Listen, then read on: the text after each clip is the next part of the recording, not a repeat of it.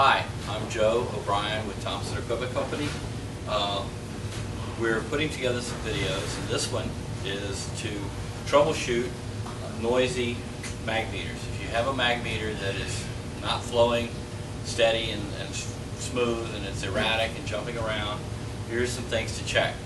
This is a Rosemount 87, well, the electronics is an 8712C, and this is a Rosemount 8705. It's a 12 inch. A magnetic flow meter has two coils on the top and the bottom generally, and two electrodes.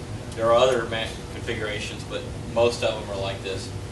The coils, you have one and two on a Rosemount, which is the coils, and then the electrodes are number 16, excuse me, 17, 18, and 19. One and two, the electrodes are in series, and these are connected to one and two on the uh, 8712C.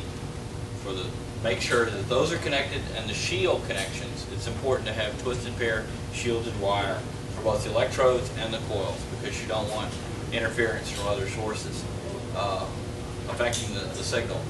Anyway, one way to check a magnetic flow meter, if you're concerned that the uh, flow meter is, uh, has a- an issue, is to disconnect the uh, one and two, the coil connections, use a megger, the same tool that an electrician uses on an electric motor, and you touch the megger to one of the coil connections, one or two, and the other side to the pipe or ground or something that you know is a good ground, and you push the test button to check the resistance to ground. It should be off the scale, uh, over 10 megs.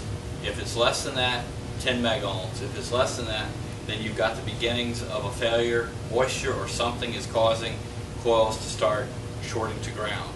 A lot of times, or not a lot of times, but occasionally, there'll be a case where for some, some way or another, water gets into the case and it shorts out the coils and that'll be a, a quick check to see if your mag meters is acting crazy.